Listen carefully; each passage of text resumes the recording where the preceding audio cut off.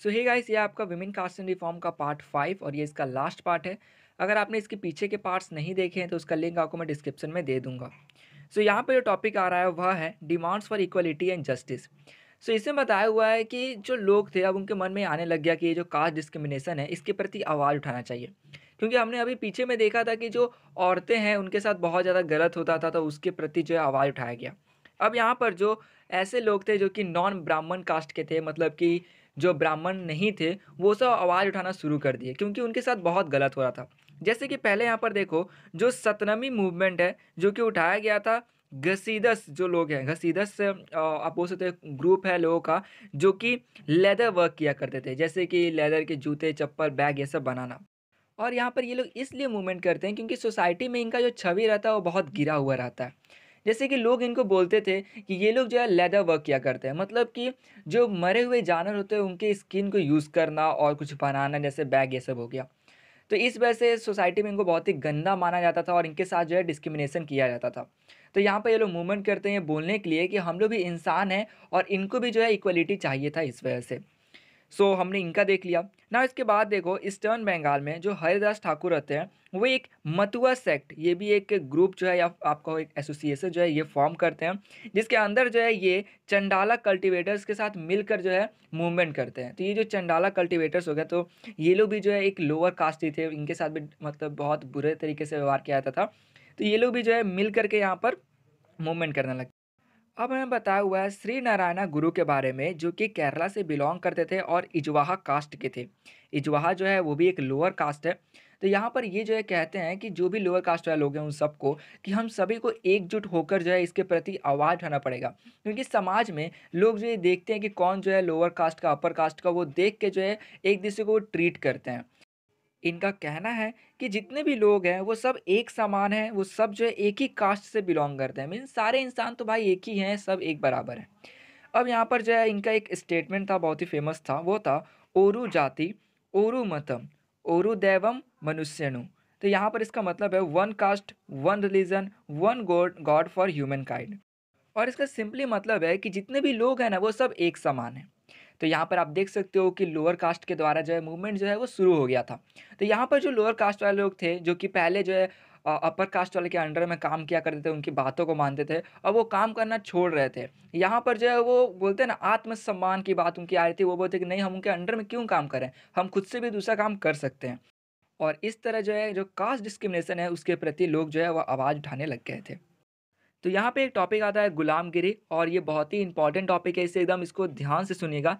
इसमें हम लोग बात करने वाले हैं ज्योतिराव फुले के बारे में, जिन्होंने 1827 में जो है जन्म लिया था। उस समय जो लोअर कास्ट के जो लीडर्स थे, उनमें से ये भी एक उसके लीडर थे और ये जो है बहुत ही, या फिर कहूँ मोस्ट वोकल थे मतलब कि बहुत ज़्यादा उच्च स्तर पर आवाज़ उठाते थे। इन्होंने जो अपनी पढ़ाई पूरी की थी क्रिश्चियन मिशनरीज़ के द्वारा बनाए गए स्कूल में तो यहाँ पर जो क्रिश्चियन मिशनरीज़ है, इसका मतलब है ऐसे लोग जो कि क्रिश्चियन धर्म से जो है बिलोंग करते हैं, उसका सपोर्ट करते हैं और उसका जो है प्रचार प्रसार करते हैं। ठीक है? तो इनकी पढ़ाई को हमने देख लिया। अब देखो, बड़े होने पर जो है इन्होंने ब्राह्मण्स के ऊपर अटैक करते हुए बोला कि ये जो ब्राह्मण्स जो लोग हैं, ठीक है, ये अपने आप को सुपीरियर बताते हैं मीन्स उच्च बताते हैं, क्योंकि ये कहते हैं कि ये आर्यंस हैं इस वजह से। तो यहाँ पर मैं आपको आर्यंस और ब्राह्मण्स के बारे में बताना चाहूँगा। तो देखो जो आर्यंस है, ये एक समाज है, इसको हम लोग बोलते हैं आर्य समाज भी। और उस समाज में जो लोग रहते थे, वो थे ब्राह्मण्स। तो यहाँ पर आर्यंस एक समाज है और उसमें जिस कास्ट के लोग रहते थे, वो कौन से कास्ट के थे? तो ब्राह्मण। तो जो ब्राह्मण है, वो एक कास्ट है, लेकिन जो आर्यन है, वो एक समाज है जिसमें ब्राह्मण्स रहा करते थे, वो एक समाज।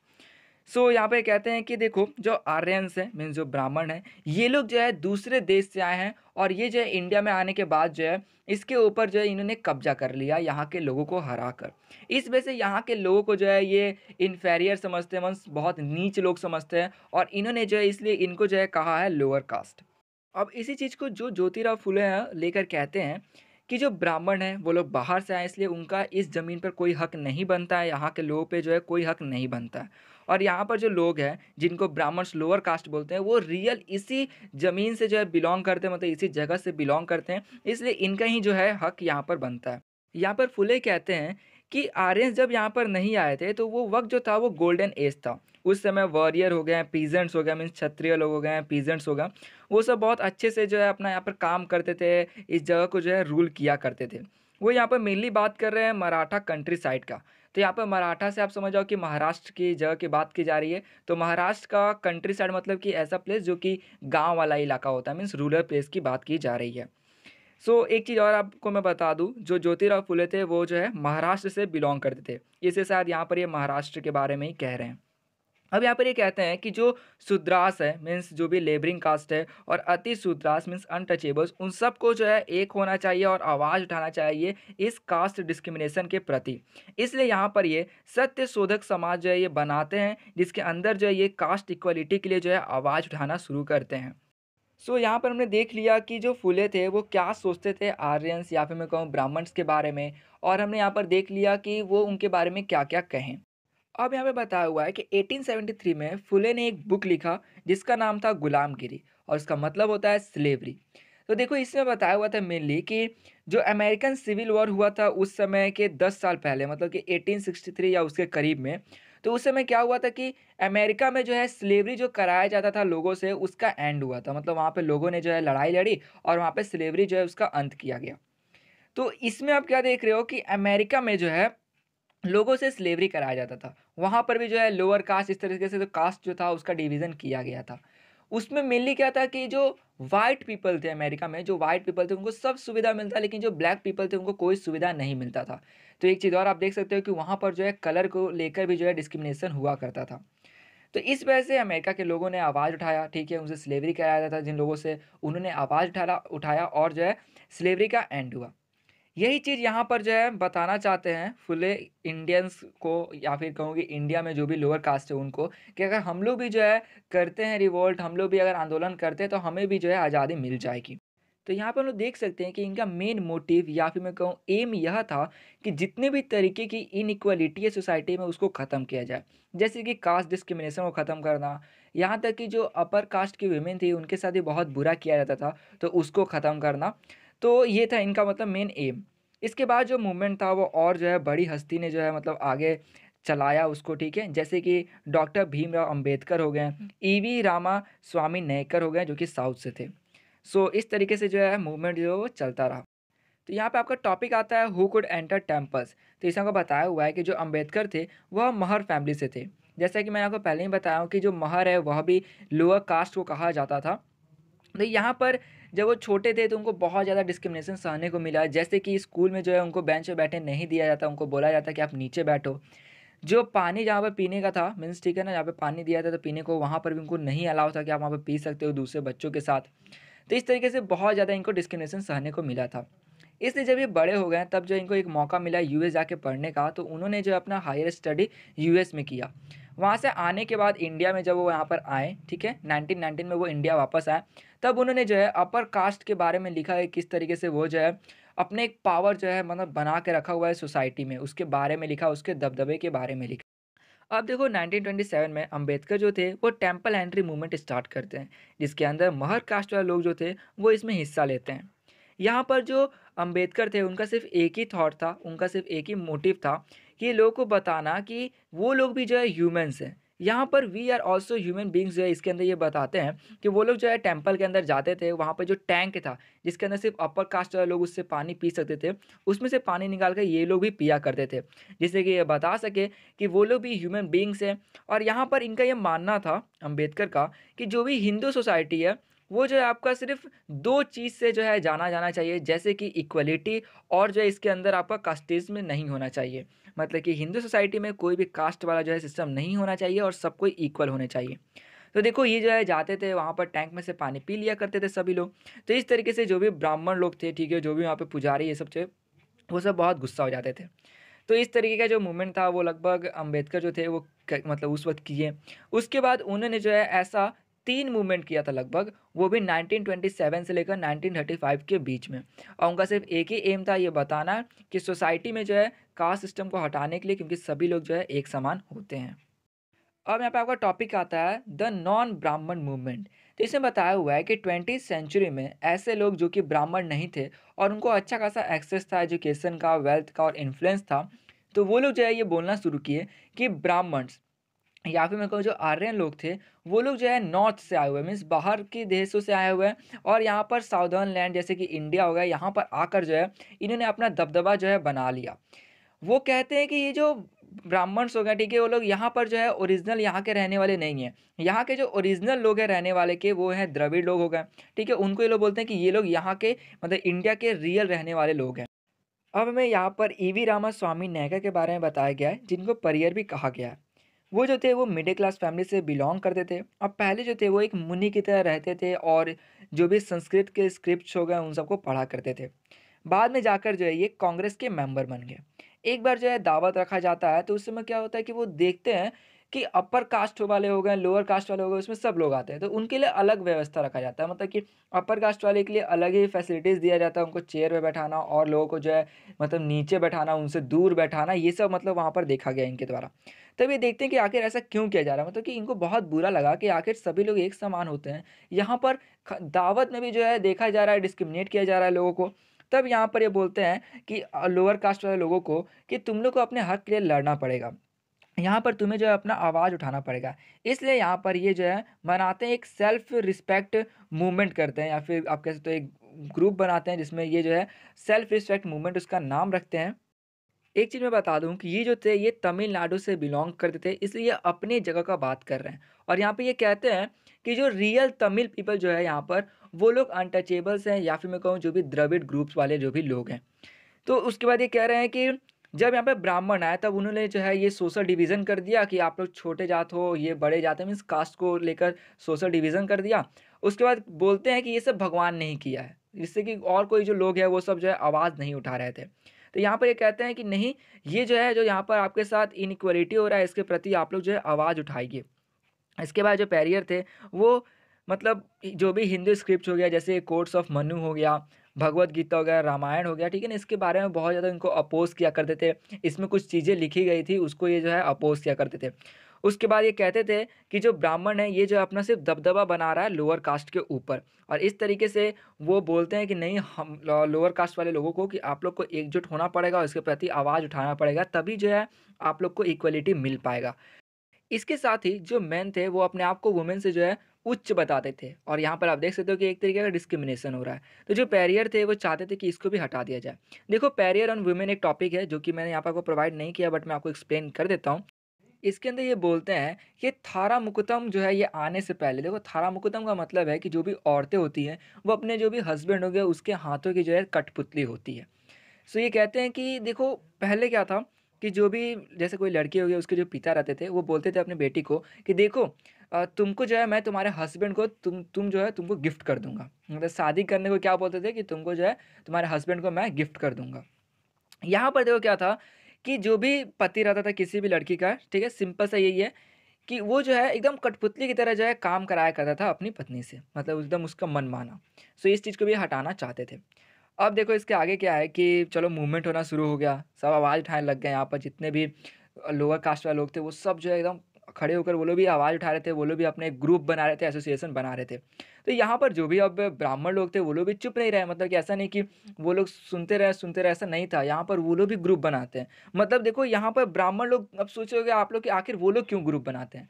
तो यहाँ पर ब्राह्मण लोग का ग्रुप बनाने का सिर्फ़ एक ही मोटिव रहता है कि वो चाहते हैं कि ये जो जैसे चल रहा है ना वैसे ही चले। मतलब वो नहीं चाहते थे कि लोअर कास्ट वाले को इक्वलिटी मिले। सो so, यहाँ पर जो है ये लोग भी अपना बनाते हैं सनातन धर्म सभा और भारत धर्म महामंडल। और इसमें ये लोग सिर्फ़ इनका एक ही मोटिव है कि जो चीज़ चल रहा है वैसे ही चलने दो, इसमें फेरबदल मत करो। मतलब कास्ट सिस्टम है तो इसको रहने दो। तो आप सिंपली देख सकते हो कि यहाँ पर जो हिंदू है, वो लोग भी अपना मतलब जो भी एसोसिएशन है, ये फॉर्म करने लग गए थे। सो एट लास्ट हमने देख लिया कि जो भी लोअर कास्ट वाले थे, वो मूवमेंट तो कर ही रहे थे बट यहाँ पर जो है, नहीं चाहते थे ब्राह्मण कि ये सब चीज़ हटे, इसलिए वो लोग भी मूवमेंट स्टार्ट कर दिए थे इस प्रति। सो so, इस चैप्टर में सिर्फ़ इतना ही था बट इसमें आगे भी ऑर्गेनाइजिंग फॉर रिफॉर्म एक टॉपिक है मैं उसको भी आपको एक्सप्लेन कर देता हूँ। तो सबसे पहले यहाँ पर आता है द ब्राह्मो समाज। देखो इसमें जो भी रिफॉर्मर्स थे मतलब इस एसोसिएशन में जो भी रिफॉर्मर्स थे उनका सिर्फ़ एक मोटिव यह था कि जैसे उपनिषद हो गया या फिर किसी भी पुरानी किताबों में जो भी सेक्रीफाइस लिखा हुआ है मतलब ऐसा चीज़ लिखा हुआ है जिससे कि सोसाइटी में निगेटिव इम्पैक्ट पड़ता है उसको ख़त्म करना। ठीक है ना? तो यहाँ पर मेनली वो हिंदुइज़्म और क्रिश्चियनिटी को देखते थे कि इनकी कहीं पुरानी किताबों में कुछ ऐसा लिखा हुआ है, जैसा लोग अभी कर रहे हैं, ठीक है? वो प्रैक्टिस अभी कर रहे हैं, तो उस चीज़ को ख़त्म करना। जैसे कि हमने देखा था वो जो है पीठ में छेद करके जो अ, वो लोग लटका करते थे, ठीक है? पुराने में। ना यहाँ पर सेकेंड आपका आता है Derozio and young Bengal. So so, इसे मेनली यह था कि जो हेनरी लुइस विवान डिरोजियो थे, जो कि एक टीचर थे हिंदू कॉलेज के कलकत्ता में। सो 1820 में जो है वो अपने छात्रों से बोलते हैं कि जाके अथॉरिटी मीन्स बड़े जो भी लोग हैं, उनसे ये क्वेश्चन करो कि आके जो ये ट्रेडिशन हो गया कस्टम है, जिससे कि मतलब उनका नुकसान होता था, जैसे कि इनइक्वालिटी ये सब हो गया, इसके बारे में आप क्वेश्चन करो। आप लोग जो है डिमांड करो कि औरतों को जो है उनको एजुकेशन मिलना चाहिए और अपना फ्रीडम का जो हो गया, उनका जो भी थॉट है, उसको फ्रीडम में एक्सप्रेस करने का इसका डिमांड करो। मतलब जो भी सोसाइटी में गलत था, उसके प्रति आवाज़ उठाने के लिए बोलते हैं। ना इसके आगे देखो। The Ramakrishna mission and Vivekananda so ये जो है आपका रामाकृष्ण परमहंस जो है इनके नाम पर पड़ा है, ठीक है? तो स्वामी विवेकानंद के जो गुरु थे रामाकृष्ण, इन्होंने एक ऐसा मिशन स्टार्ट किया था या फिर इनका जो मोटिव यह था कि जो भी पहले स्लेवरी टाइप में होता था ना, जिसके अंदर जो भी अपर कास्ट वाले लोग हैं, वो अपने से लोअर कास्ट वाले से काम कराते थे और भी मतलब इसी तरीके से अपने मन मर्ज़ी तो इसको ख़त्म करना। फिर आता है आपका द वेद समाज। इसमें क्या है मेनली कि आपका ब्रह्मो समाज से जो है ये इंस्पायर है मतलब कि इसका वर्क भी लगभग सेम उसी की तरह है। तो ये मद्रास जो है चेन्नई 1864 में आपका शुरू हुआ था। इससे मेनली क्या था कि जो कास्ट सिस्टम है, इसको हटाना विडो रीमैरिज है, उसको लाना और औरतों को जो है देना है मौका कि वो भी जो है पढ़ सके मीन्स एजुकेशन उनके लिए भी। यहाँ पे इस ग्रुप के जो भी लोग थे, वो भगवान पे विश्वास करते थे बट जो भी अंधविश्वास चीज़ हो गया, ठीक है ना, उसको छोड़ते थे या फिर ऐसा रिचुअल जैसा, ऐसा कोई भी काम जिससे कि लोगों को हानि पहुँचे, उसको नहीं मानते थे। अब देखो, आता आपका द अलीगढ़ मूवमेंट इसमें मेनली जो मोहम्मदन एंग्लो ओरिएंटल कॉलेज, जो कि सैयद अहमद खान के द्वारा 1875 में बनवाया गया था अलीगढ़ में, बाद में जाके इसको अलीगढ़ मुस्लिम यूनिवर्सिटी भी कहा गया। ठीक है इसके अंदर क्या था कि जो भी मॉडर्न एजुकेशन है, वो सब दिया जाता था साइंस की जो भी चीज़ है, वो सब इसमें पढ़ाया जाता था। और इसका मेनली यह मकसद था कि मुस्लिम लोग जो हो गए, उनको भी एजुकेशन जो है, वो मिले, मीन सभी को एजुकेशन जो है, मिले। तो इसके बाद आपका आता है द सिंह सभा मूवमेंट तो देखो, इसमें जो भी रिफॉर्मर्स थे, वो सब सिख थे। तो ये लोग चाहते थे कि जो भी सिखिज़्म है ठीक है, यहाँ पर बता दें कि ये जो सभा है, आपका फॉर्म हुआ था अमृतसर में 1873 में and at Lahore in 1879 means दो जगह यही जो मतलब लोग जो थे, इन्होंने जो है अपना एक ऑर्गेनाइजेशन फॉर्म किया दो जगह अलग अलग वक्त पे। तो यहाँ पर ये लोग यही चाहते थे कि जो भी सिक्किज़्म है मतलब इनका जो धर्म है, इसके अंदर से जो भी अंधविश्वास है, उसको हटाया जाए, इन लोग में जो है कोई भी कास्ट डिस्क्रिमिनेशन ना करे, भेदभाव ना हो और साथ में इन लोगों का जो भी ग्रुप है ना, उन सबको मतलब पढ़ाई जो है, ये सब मिले मॉडर्न जो हो गया इंस्ट्रक्शंस ये सब इनको मिले। सो आप देख सकते हो कि ये लोग भी जो चाहते थे कि इनका जो समाज है, इसके अंदर भेदभाव ये सब ना हो, इनको भी पढ़ाई ये सब का मौका मिले और अंधविश्वास जैसी चीज़ों से छुटकारा पाएँ। सो इसमें सिर्फ़ इतना ही था। ना यहाँ पर आपका टॉपिक आता है, जो कि लास्ट टॉपिक है आपका black slaves and white planters so इसको मैं आपको ब्रीफ में बता दूँ तो देखो, हमने जस्ट अभी देखा है गुलामगिरी के बारे में, जो कि ज्योतिराय फुले के द्वारा लिखा गया एक बुक है। सो उसमें जो है उन्होंने लिखा था कि अमेरिका में कैसे जो स्लेवरी था, उसका अंत हुआ। यहाँ पर उसी चीज़ को बताया गया है कि देखो आखिर इसके स्टार्टिंग और अंत के बारे में थोड़ा सा बताया गया है कि यूरोपियन एक्सप्लोरर्स और ट्रेडर्स जो थे, जो कि ऐसे लोग जो दूसरे देश में जाते थे, उसको एक्सप्लोर करने, वहाँ पर ट्रेड करने, वो जब अफ्रीका में आए सेवनटीन सेंचुरी में, तब उन्होंने जो है स्टार्ट कर दिया ट्रेडिंग करना स्लेब्स का। अब देखो क्या करते थे वो लोग? जो अफ्रीका के लोग थे, जिनको यहाँ पे ब्लैक पीपल कहा गया है, ठीक है? ये कलर का मीन्स आप कह सकते हो। सो ब्लैक पीपल को वो लोग कैप्चर करते हैं और जो है अफ्रीका से अमेरिका ले जाते हैं। वहाँ पे जो वाइट प्लांटर्स होते हैं, उनको दे देते हैं वो लोग, ठीक है? बेच देते हैं मतलब। बेचने के बाद जो है वो लोग कॉटन हो गया आपका, इन सब का उनसे प्लांटेशन करवाते मतलब बहुत मेहनत करवाते हैं वहाँ पर। उनको पे भी करना था या फिर शायद नहीं भी करते थे पे उनको बहुत ज़्यादा काम करवाते थे उनसे। एक चीज़ आप देख सकते हो किस तरीके से जो है आदमी को ले जाया जा रहा है। ठीक है, उनके देश से दूर और वहाँ पे मतलब नहीं गया उनको झांसा देकर या फिर किसी दूसरे तरीके से उनको लेकर जाया जा रहा है एक जगह से दूसरी जगह और वहाँ पर जो उनको दूसरे प्लांटर्स के जो है बेच दिया जा रहा है। इस तरीके से उनको जो है वापस आने का ही मौका नहीं मिल पाता था। अब देखो, ये देखा गया कि चलो बहुत ज़्यादा यहाँ से चले गए, ठीक है ब्लैक पीपल उनको ले गया गया, उनसे स्लेवरी कराया गया। तो वहाँ पर जो अमेरिका था, वहाँ पर जो भी ब्लैक पीपल थे और जो भी वाइट पीपल भी थे, जिनको लगता था कि यार गलत हो रहा है ये सब ठीक है, जैसे मैंने बताया कि सभी लोग जो होते हैं, उनका एक मेंटेलिटी नहीं होता है तो वाइट पेपर में से कुछ ने देखा कि यार ये गलत हो रहा है। तब उन्होंने आवाज़ उठाना शुरू किया। उसके बाद जो है अमेरिकन रिवोल्यूशन हुआ सेवनटीन सेवेंटी सिक्स में आवाज़ उठाया गया। तब उस समय अब्राहम लिंकन जो थे, वो बोलते हैं कि ये जो स्लेवरी जो यहाँ पर चला आ रहा है, जब आप सोच सकते हो कि लोग जो है, जो भी स्लेवरी कर रहे हैं, वो लोग इतना ज़्यादा आवाज़ उठा सकते हैं मतलब अपने आज़ादी के लिए। तो सिंपल सा बात है कि मैं जो है डेमोक्रेसी यहाँ का हटने नहीं दूँगा। मैं मतलब उनको वो कहते हैं कि यहाँ के लोग जो है, उनको इक्वलिटी मिलेगा मतलब वो दावा करते हैं कि सबको इक्वलिटी दिया जाएगा ब्लैक पीपल वाइट पीपल सबको। ठीक है, और इसलिए वो कहते हैं कि यहाँ के जो लोग हैं, ठीक है, और जो यहाँ के गवर्नमेंट है, वो यहाँ के लोगों से ही बनी है, इसलिए यहाँ पर सभी लोग को इक्वलिटी दिया जाएगा।